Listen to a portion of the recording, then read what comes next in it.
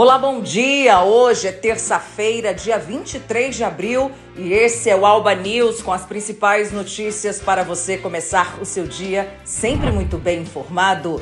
Confira agora os destaques de capa dos principais jornais nacionais e internacionais.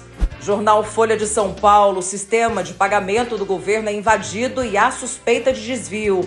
No Gaúcho Correio do Povo, Lula cobra ministros em campo para salvar articulação com o Congresso. No estado de São Paulo, esta também é a informação. Lula cobra de Haddad que leia menos e negocie mais com o Congresso. Agora os destaques dos principais jornais da Bahia.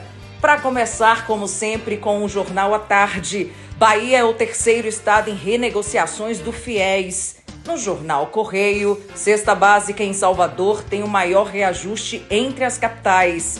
Na tribuna da Bahia, Bruno Reis confirma ingresso do PL na base aliada. E no Diário Oficial da Assembleia Legislativa da Bahia, colegiado debate cacauicultura irrigada na região oeste do estado. Agora as notícias internacionais nesta terça-feira, 23 de abril. No jornal britânico The Telegraph, cinco migrantes morrem ao atravessar o Canal da Mancha.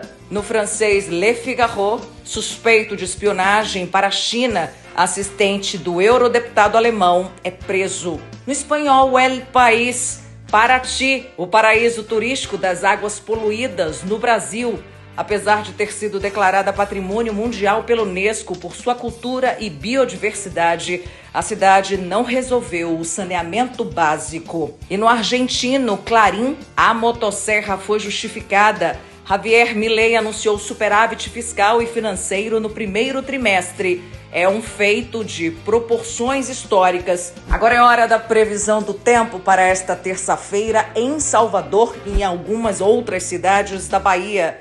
Para começar comprado no extremo sul baiano, a terça-feira será de sol, com muitas nuvens no decorrer do dia e possibilidade de chuva a qualquer hora. Mínima de 21, máxima de 29 graus.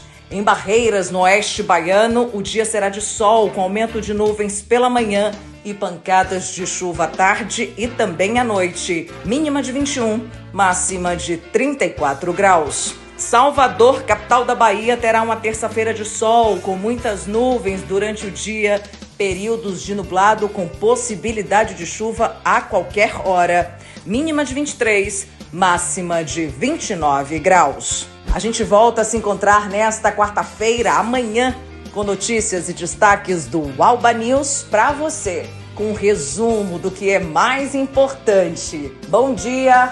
Ótima terça-feira para você. Aproveite bastante as oportunidades e a gente se vê amanhã. Até lá!